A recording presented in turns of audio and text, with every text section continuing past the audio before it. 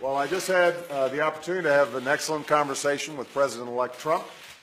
Uh, It was wide-ranging.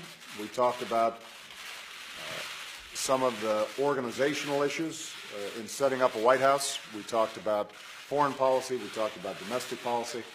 Uh, And as I said last night, my number one priority in the coming two months is to try to facilitate a transition that ensures our president-elect is successful.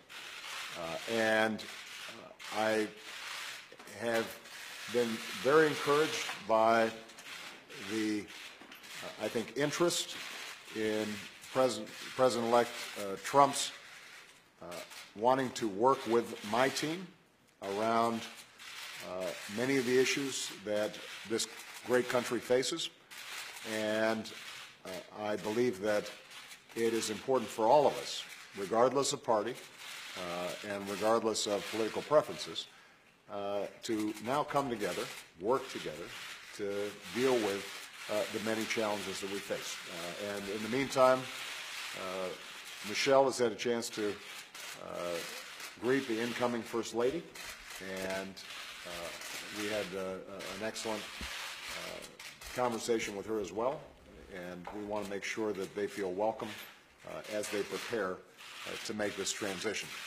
And most of all, uh, I want to uh, emphasize to you, uh, Mr. President-elect, that we now are going to want to do everything we can to help you succeed, because if you succeed, then the country succeeds. Please. Well, thank you very much, President Obama. Um, This was a meeting that was going to last for maybe 10 or 15 minutes, and uh, we were just going to get to know each other. We had never met each other. Uh, I have great respect. Uh, The meeting lasted for almost an hour and a half, and it could have, as far as I'm concerned, it could could have gone on for a lot longer. We really, um, we discussed a lot of different situations, some wonderful and some difficulties. I very much look forward to dealing with the president in the future, including counsel. Uh, He's, uh, explained some of the difficulties, some of the, the high-flying assets, and some of the, some of the really great things that have been achieved. Uh, So, Mr. President, it was a great honor being with you, and I look forward to being with you many, many more times in the future. Thank you, sir.